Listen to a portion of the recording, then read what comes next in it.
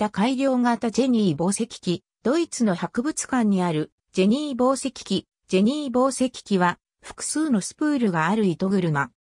1764年頃、イングランド北西部ランカシャーのブラックバーン近郊のスタンヒルでジェームズ・ハーグリーブスが発明した。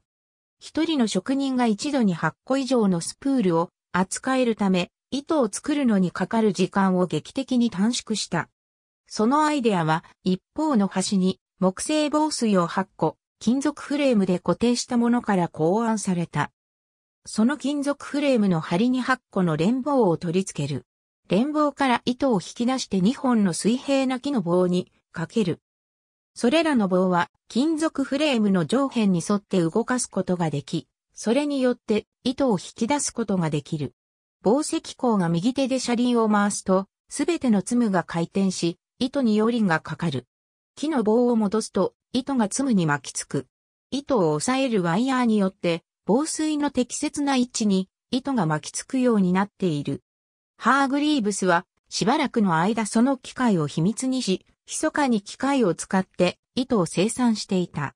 糸の相場は下落し、ブラックバーンの製紙業者の怒りを買った。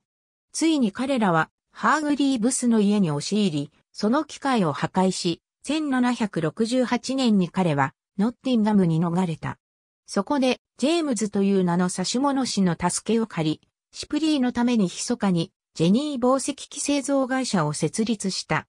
ハーグリーブスは1770年7月、ジェニー紡績機の特許を取得した。その頃にはすでに、ランカシャーの製紙業者の多くは、ジェニー紡績機をコピーした機械を使っていたため、ハーグリーブスは彼らに法的措置を取ると警告した。業者らは相談の上ハーグリーブスに3000ポンドを支払うことにした。ハーグリーブスは7000ポンドを要求し、最終的に4000ポンドで合意した。しかし、ハーグリーブスがすでに何台かを販売していたことが判明し、4000ポンドの支払いもなくなってしまった。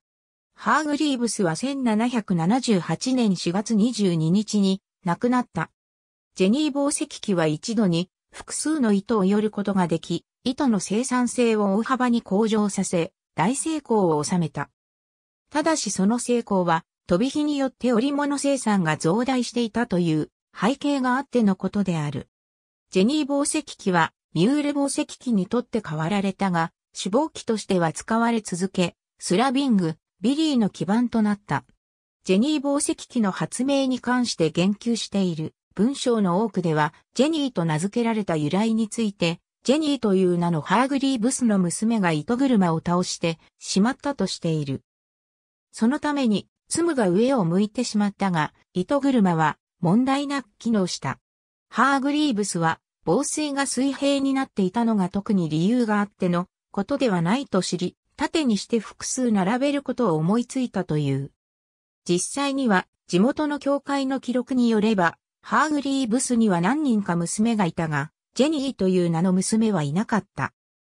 もっとそれらしい名称の由来としては、エンジンがなまってジェニーになったという説がある。なお、ジェニー紡績機はトーマス・ハイズが発明したという説もあるが、こちらも名称の由来は妻の名とされている。ありがとうございます。